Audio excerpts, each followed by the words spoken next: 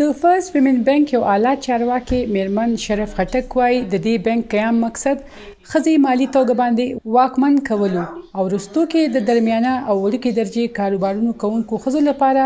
د ریاستي بانک مرستې سره دوی ډیر کم خصوصي رعایتي سود شره باندې څه څلور سوه میلیون روپو یا د څلوېښتو کروړو روپو نه زیات قرضې ورکړي. ښځو ته دا قرضې د خپل کاروبارونو غځولو او نوي کاروبارونو شروع کولو لپاره ورکړل کیږي.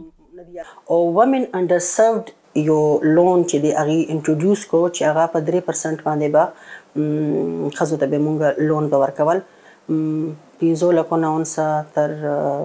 پندره لاک پر يو بريکټ دی. خو د بانک دا چارواکي وايي، د وړوکي او د درميانه درجې کاروبار کوونکو ښځو لپاره د دې قسمه قرضو سهولتونو باوجود د هغوی مالياتي امور باندې پوهه نه وي، د دوی کاروبارونه ډاکومينټيډ نه وي د کوم له وجې هغوی ته قرضې اغستلو عمل ګران ښکاري. هغې کې يو بيسک غلطي زمونږ ښځې څه کوي چې کله هغه کاروبار شروع کوي هغه خپل ریکارډ نه ساتي ډاکومنټیشن یې صحیح نه وي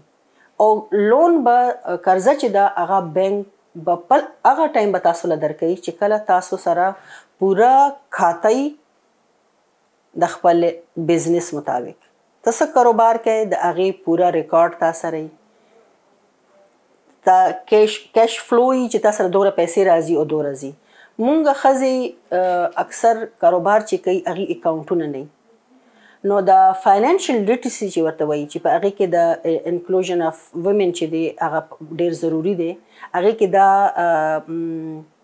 خبره ډیره اهم ده چی ښځی د پیله په دی خبره خبر شی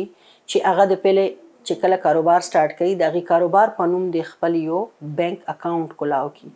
د بانک دا چارواکی دعوه کوی د فرست ویمن بانک نه کاروبار له قرضه اغستو لپاره که یو کاروباری ښځه د مختلف درجات قرضو لپاره مختلف قسمه ضمانتونه، یو لیکلی بزنس پلان او د کاروبار دستاویزات ورکړی، نو یو اونۍ کې دننه د بانک نه هغې لپاره قرضه منظور کیدای شي. این ټی این وي هغې بزنس پلان وي فیزیبیلیټي وي هغه چې که که هغه زوړ کاروبار دی نو هغې به خپل بیلنس شیټ وي فاینانشلز به وي هغه به جوړ شوي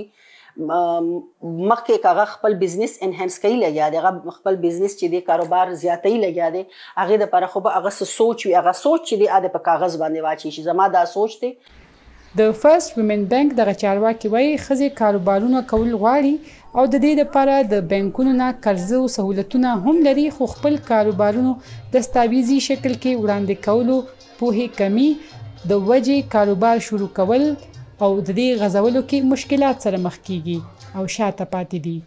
کیمره مین هاشم علي سره سادیه قاسم شاه وی او ای ډیوا پیښور